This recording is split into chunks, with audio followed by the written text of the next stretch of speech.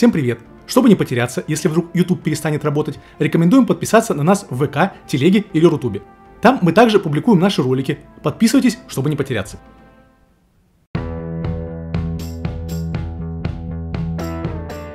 В топ-3 самых желанных подарков этого года входят часы и наушники от тюменского бренда Case Guru. Доступны даже для небольших зарплат. Все потому, что часы-смартфоны от тюменцев выполняют функции смартфона. В смарт-часах Guru есть гарнитура, можно разговаривать прямо с них, а еще набирать номер и читать сообщения – Часы Guru совместимы с разными системами Android, iOS и Windows. За секунды синхронизируются со смартфоном. В отличие от Apple Watch, совместимых только с Apple. Часы Guru работают без зарядки до 10 суток, пока яблоки за 100 тысяч тянут полтора дня. Но Тюмень часы стоят в 10 раз меньше. Ремни часов из Guru из гипоаллергенного силикона не раздражают и не натирают запястья. Другие бренды либо экономят на материалах, либо дерут за это огромные суммы. Смарт-часы CG Watch Force могут попасть в книгу рекордов Гиннесса. В них более 100 спортивных режимов и корпус из авиационного алюминия. Личный тренер на руке.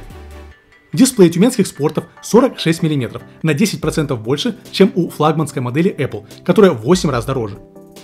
У часов CG Watch Classic разрешение дисплея как у флагмана Apple, потому что экраны заказывают на одном заводе, стоят в разы меньше американцев – как особый бонус, тюменцы дают пожизненное обслуживание гарантии и хорошую скидку на свои устройства.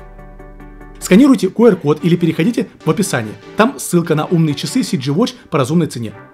Промокод RUSR2411 на скидку до 500 рублей. Изгнание российских программистов из состава разработчиков операционной системы Linux может показаться небольшим инцидентом на фоне общей западной русофобии – Однако на самом деле этот случай обнажает глубинные процессы, происходящие в финском обществе, поскольку Linux происходит из Финляндии.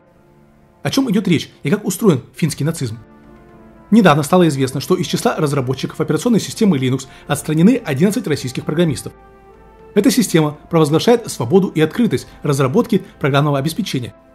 Но, как выяснилось, данная свобода должна реализовываться без России. С дроблением такого подхода выступил и создатель системы Linux Торвальдс – он фактически подтвердил, что программистов уволили ни за что.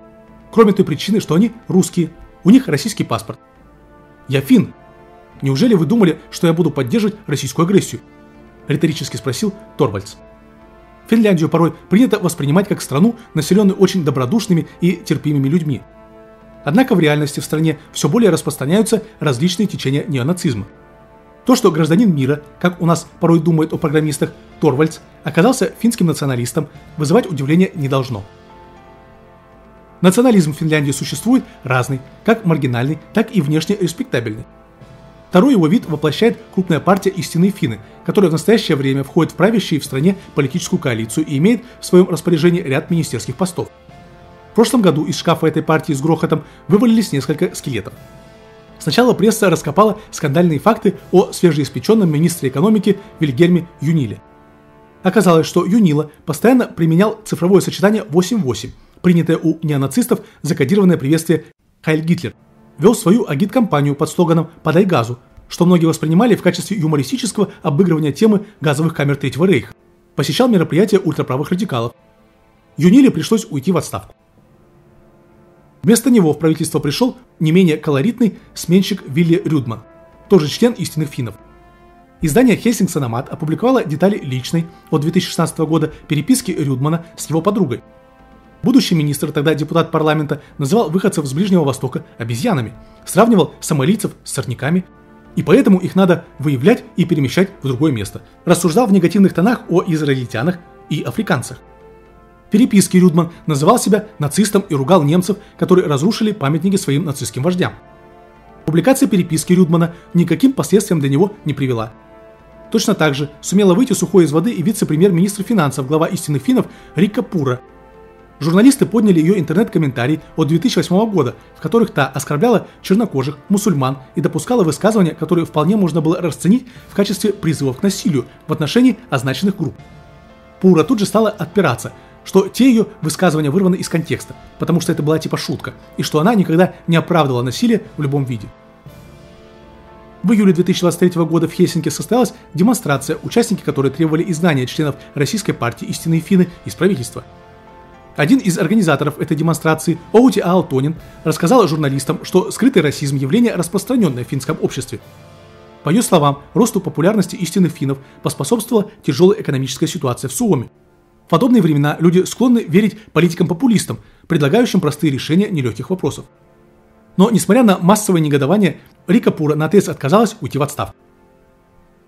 Однако существует и так называемый низовой национализм – как сообщила минувшим летом финская полиция безопасности, местные поклонники ультраправых идеологий для легализации все чаще используют клубы боевых искусств. Там ультраправые налаживают связи и вербуют в свои движения новых членов. Данные клубы встроены в деятельность сетевых структур, объединенных специфической идеологией.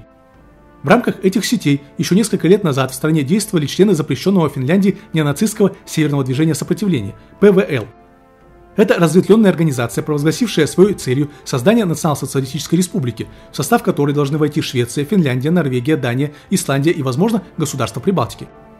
Участники ПВЛ превозносят Гитлера, заявляют о желании сохранить чистоту расы, выступают против израильтян и мигрантов из стран третьего мира.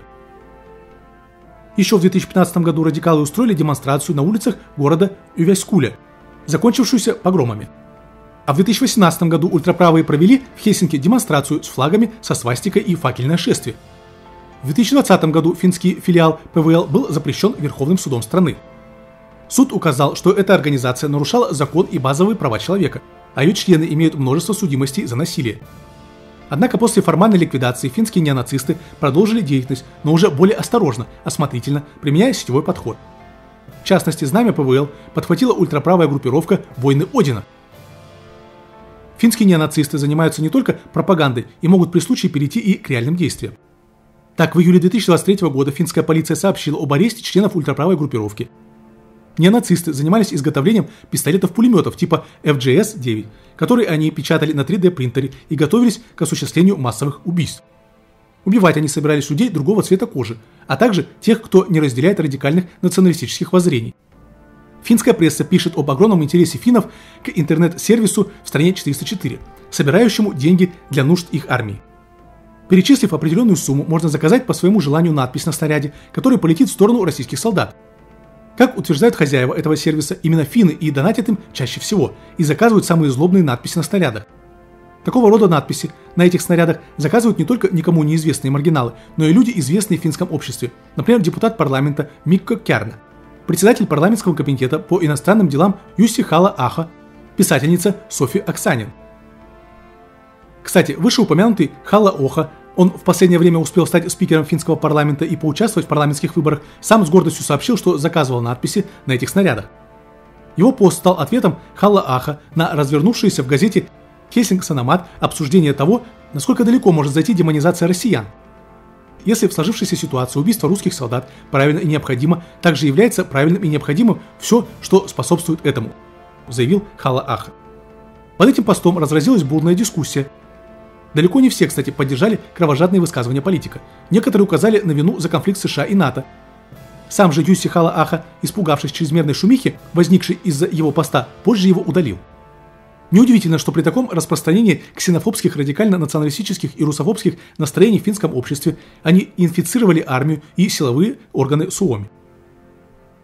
Один из многих примеров, свидетельствующих о том, насколько далеко зашло дело, летом 2021 года полиция финского региона Восточная Усимаа расследовала связь ряда своих сотрудников с праворадикальными кругами.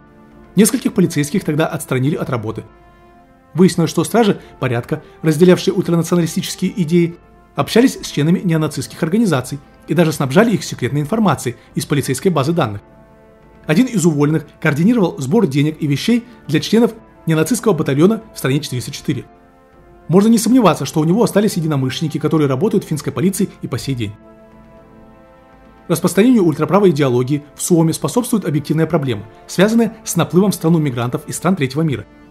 Эти мигранты, особенно молодежь, зачастую пополняют ряды этнической преступности – Однако, если принятые в Финляндии нормы толерантности запрещают впрямую критиковать мигрантов, можно удостоиться клейма нациста, то открыто ненавидеть русских – вещь вполне социально допустимая.